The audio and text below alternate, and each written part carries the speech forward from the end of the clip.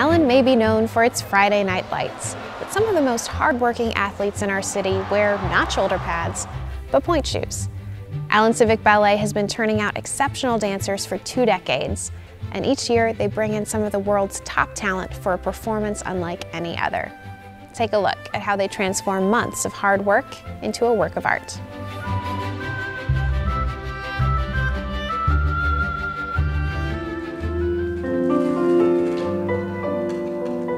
1995, I opened a school in Allen. And after teaching for a few years, it became apparent that a lot of the students were really talented and with some work and experience could potentially have professional careers.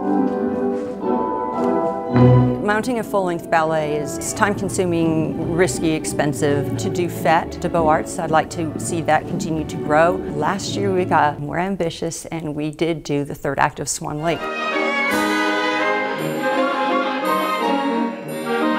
With financial support from the city that enable us to hire professional guest artists to work with the dancers.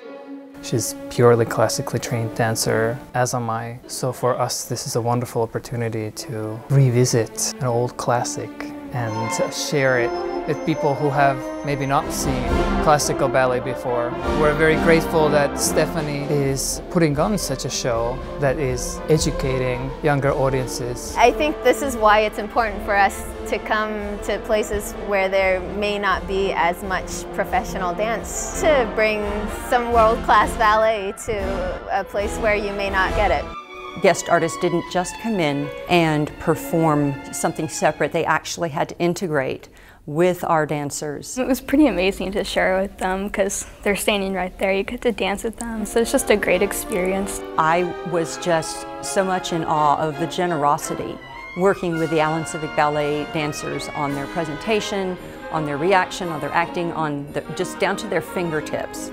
I found that they kind of really throw themselves into the role and retain like all the persona of their characters.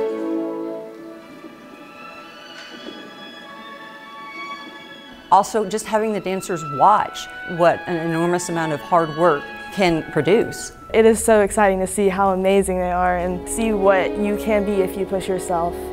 Ballet is an art, but there's a lot of training that goes into it. In some ways, it's kind of like martial arts.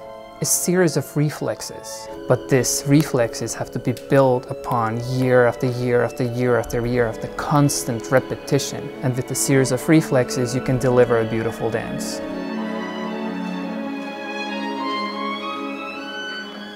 It is not easy because it is incredibly athletic, but you can't let the effort show. We try to make it look as easy as possible, but there's definitely a lot of sweat, blood, and tears that go into ballet. Even if you've never seen a ballet before, there is always something that you can go out and see and enjoy, especially in Allen. I mean, it's with any art or sport. The more you know, the more you'll appreciate it. The more you know about the story, the more you know about the art form itself, the more excitement you'll feel when you watch it. I think that the community is really starting to appreciate this art form. The next Fête de Beaux Arts will happen in the spring, but there's plenty of art to enjoy in Allen before then. On Saturday, December 5th, you can have yourself a merry little Christmas with the Allen Symphony Chorus, or catch a performance of A Christmas Story December 4th through 20th at Allen's Community Theater. The guy who wrote that infamous song about grandma and a reindeer is also in town this December. Hear Randy Brooks perform with Johnny Hooper on December 11th at Allen Public Library. Notably, North Texas will treat visitors to cocoa, cookies, and carols on December 11th and 12th. And finally, mark your calendars for Allen Civic Ballet's performance of The Nutcracker, happening here at the Allen ISD Performing Arts Center on December 19th and 20th. You can also enjoy Allen's public art any time of year, including works like Out of the Park. The bronze sculpture by Walt Horton captures a young boy swinging for the fences. You can find it near the ball fields at Allen Station Park. Learn where to find all the city's paintings, sculptures, and more at cityofallen.org slash public art.